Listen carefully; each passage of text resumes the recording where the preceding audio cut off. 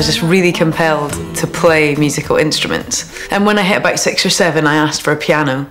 And my mum and dad said, you know, are you sure that you're going to take this seriously? Because this is a big uh, instrument. You're choosing the biggest one first. You sure you don't want to try the recorder? And from then went on to play flute when I was about 11. And around the time I'd started piano, I also started doing a lot of theatre. Um, doing there was just it was just a local little group that I played with that we used to do plays and stuff. And it was musical as well so I did a bit of singing. And I wasn't kind of one of these horrendous little prodigy children who was all singing all dancing. But it was it was on a really small scale level. I was kind of just getting really used to performing and really enjoying the buzz of getting on stage and performing to people. I mean, I'd got so into my theatre by the time I was 15, 16, I was like, right, I'm going to be an actress and uh, and I got into doing Scottish Youth Theatre, which is the Scottish version of the National Youth Theatre, which is quite a big deal, really. It's a big setup, and it's quite a good way in to getting involved with theatre. And I started doing a few other theatre projects, and I was just becoming quite disenchanted with it, and just going. I don't want to turn into someone like this, and I, you know, it was just it seemed really pretentious to me. And I'd started writing songs, started writing on piano, and it was just hideous Richard Clayderman just wrong. So I, I taught myself guitar, and uh, which was kind of ironic, really, because I'd all, had all this classical training and then taught myself guitar and voice, and so I've never ever had a, a, a, guitar or singing lesson, which is which is good really. So I had all the theory, but didn't really have any major influence from anyone else when it came to teaching myself what I, myself what I actually do. And then I kind of just it clicked that I could get on stage and perform and still have this communication with an audience, but actually perform in my own. My mum had seen an advert for uh, a scholarship to an American boarding school um, and I just thought, well, I might as well go for it. So I found myself in this surreal meeting in London with about 15 other school kids trying to get this scholarship to America. And I was the only Scottish person there, and I'd worn a tartan jacket. And I was absolutely mortified, just going, oh my God, I just feel like such a little kind of country bumpkin in my tartan jacket in this meeting. But I got the scholarship and ended up at this phenomenal, I mean, really luxurious uh, boarding school in the States for my last year of school which for my music was incredibly formative because my parents hadn't listened to music. None of my friends were really into music. And living in St Andrews, I mean, you're an hour and a half away from any decent venue, so we didn't really see any bands. Um, so going to the States, suddenly I was just hit with this wall of not only music, but people who just were obsessed with it. And everyone in my class, all the, all the kids who I was at school with, were just music fanatics and were you know, plying me with mixtapes and, you know, introducing me to all this stuff, taking me to festivals. And I saw Suzanne Vega, 10,000 Maniacs. I went to a Grateful Dead concert, which I think probably changes anybody's life. And, uh, and suddenly it became a totally attainable goal to me to end up back in St Andrews. Obviously, you go to America, you go to London, and then you end up back in your little town.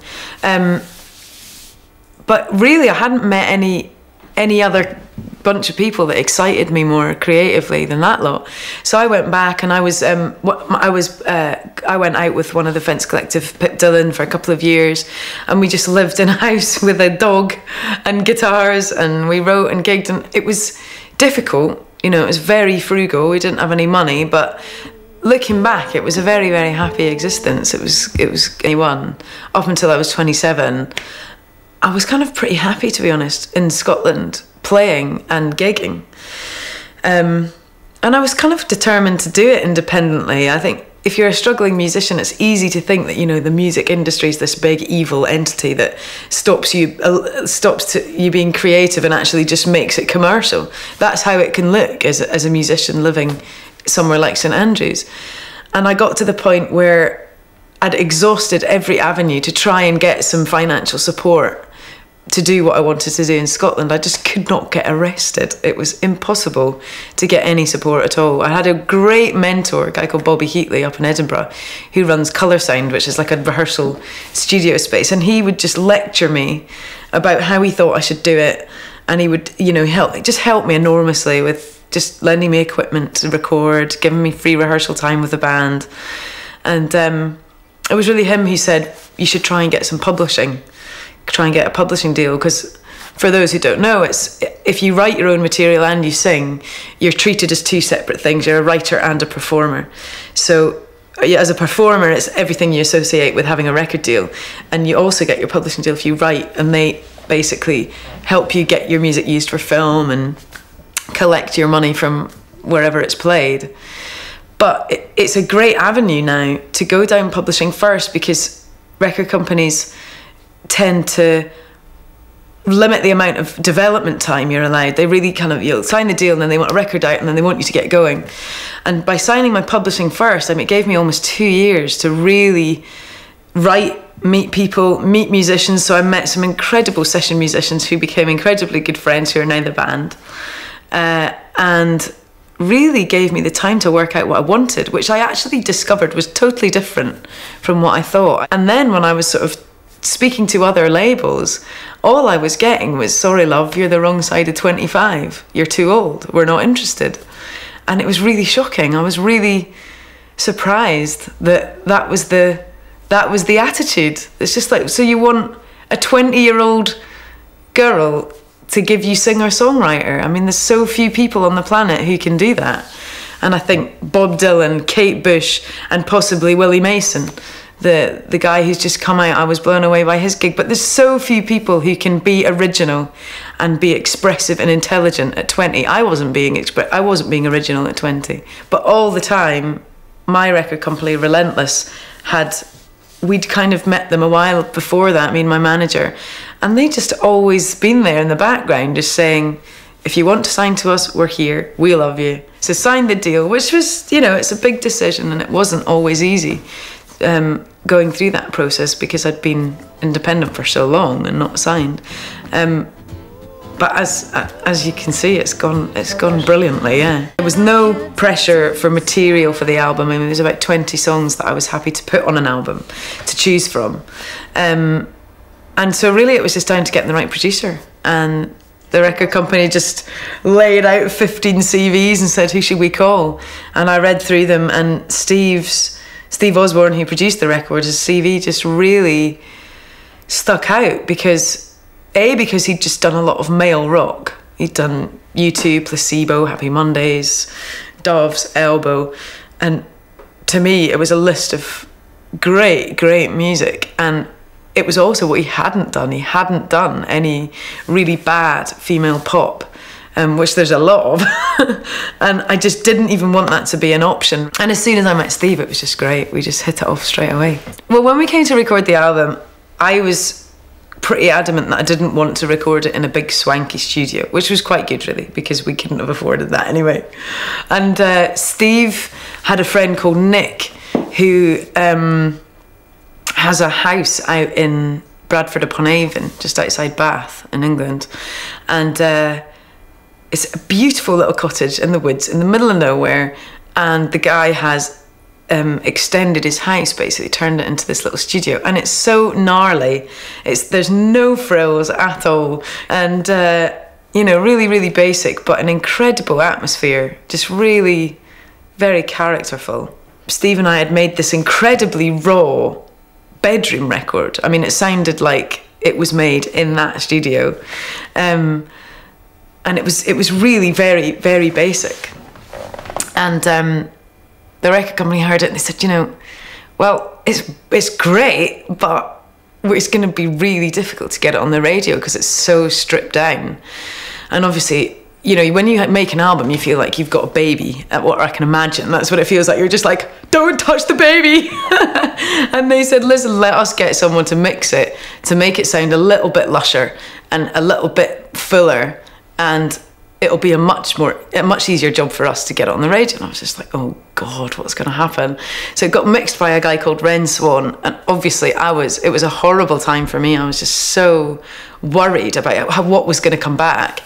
And um, came back and it just sounded amazing. It just sounded it sounded more expensive for sure. And uh, it still had this this kind of edge that I was trying to achieve, but then it just had this real extra level as well. Especially with my vocals, it's suddenly just one of those freaky nights where I got a call 24 hours before the show. Nas the rapper had pulled out, and they said, "Can you come and do it?" And I was like, um, "Yeah, okay." so went down. I mean, I was I was actually playing keyboards in a friend's band on tour, so I was on a tour bus down to London, had a wash in a cab down to BBC Studios, and suddenly I'm sitting there watching The Cure, going. Oh my god! I think I'm on next, and because the band couldn't come because it was such late notice, which was kind of really serendipitous because it was a real band show that night. And so I guess I stuck out a bit. So it was just me and my little pedal. And I just bashed the guitar, got my loops going, did the song. And I'd been doing this, and I mean, eight, nine months ago, I was doing that song in coffee shops in Scotland to six or seven people, literally. And so to me, it was just like people have been drinking their cappuccinos, going, "Yeah, that's all right." And now I'm doing it on a TV show. It was just normal for me. I was just doing what I'd always done, you know. And okay, it was live telly, so I was nervous and didn't want to, I didn't want to go wrong, but I wasn't prepared for how people reacted to that. There was like an internet vote afterwards, and it was The Cure, Anita Baker, Jackson Browne, The Futureheads, Embrace, and me, and I got like, over fifty percent of the vote for this program, which was totally. I'm so relieved that um, that I'm this age. For I mean, I'm I turned thirty last week, and partly it's just like it's a bit like eh, I'm thirty. You can do it when you're thirty, and I hate this whole kind of attitude that's from the public, but also from the music industry that I that I came up against when I was trying to get a deal. That you're past it it's just like Sheryl Crow had her first album out when she was 34. There's a living, breathing example of one of the most successful songwriters on the planet who didn't have an album till she was 34. So why the attitude, you know? And so that I, I feel really good. I feel like I'm flying a flag a little bit for for older female musicians. Now I'm on tour, I'm singing every night. I know that I can't stay up till six in the morning and just get completely mashed, you know. I've, otherwise, I'm not going to be able to sing next week. And so, in that respect, I suppose I'm more, I take it a bit more seriously, I think, because my priorities are sorted out. And thankfully, I've had 10 years of partying with my mates. So I'm sort of, I can, you know, I feel like I can move on to something else. Really excited about making the second record. I'd love to work with Steve again. Um, I really feel like we kind of opened the door to something and we didn't, you know, I think there was more to explore with where we went. And um, thankfully, I'm just I'm still writing. It's still pretty prolific, and I've there was a lot of songs that I couldn't get on the first album. I could put out a second album now. I've got enough songs, but I do want to put some new material on it. But um, yeah, I'm just excited to sort of to get to the next level because I really feel that since we've been touring the album, the style of what I've what I'm doing is really solidifying and finding its feet and um, you know, can feel the songs maturing. I mean, I've learned so much over the last year about how I want to make a record, how I think a live show should sound, how instruments sound together, and what I like about that and what I don't like about that. Um, and really, I've always dreamt of doing all these different projects of working with digital stuff that I do. I do still sort of love. Um, maybe doing I'd love to write music for film, I'd love to write instrumental music and I'd love to do some totally stripped down acoustic stuff. So there's a lot I want to do, but I know that through the middle of all that there'll always be this thing that Eye to the Telescope has started, which is my songs done I would think in a pretty traditional way because I think that's an incredibly powerful way of presenting songs with great musicians and just approaching it really honestly and just trying